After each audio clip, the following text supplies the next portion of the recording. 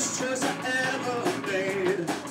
But then I contradicted it, and I live on a mistake.